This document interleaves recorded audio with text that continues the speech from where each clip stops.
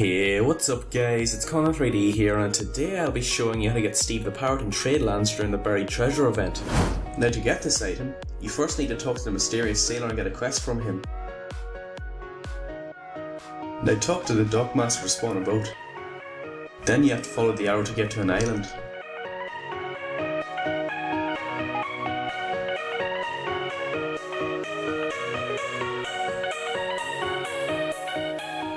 When you reach the island, talk to the crazy captain to begin several quests.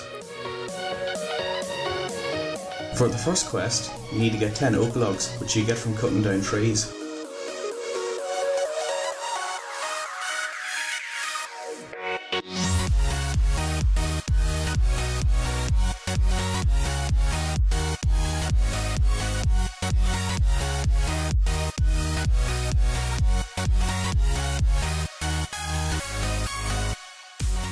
For the second quest, you need to collect 10 iron, which you get by mining rocks.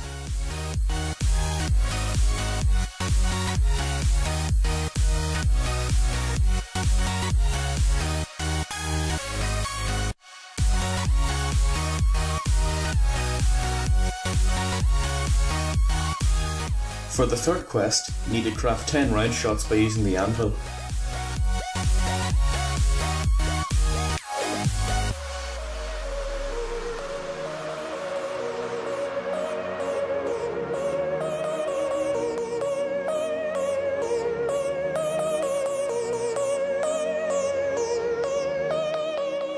And finally, for the fourth quest, you need to go to the Tavern Nova Balreska and buy 5 lime juice.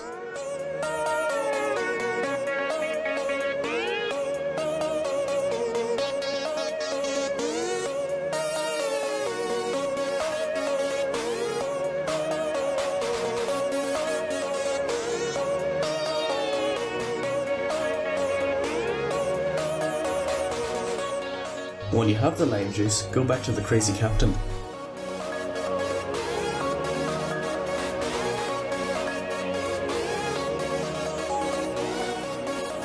After you talk to the captain, you'll be teleported to a battle. To win this battle, you need to angle the ship so the cannons shoot the other ship.